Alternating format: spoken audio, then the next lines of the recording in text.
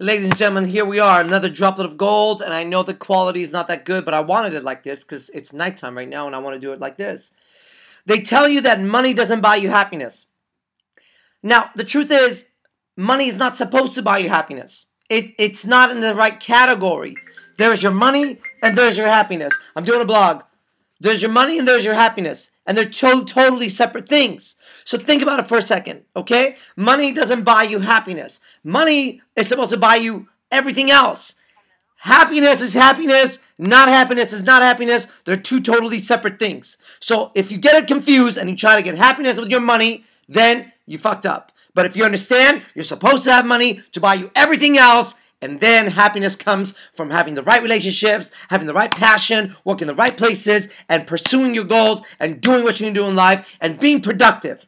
That's what it does. So no, money doesn't buy you happiness, but who the fuck who the fuck came up with that? Money doesn't buy you happiness. Yeah, okay. Peace.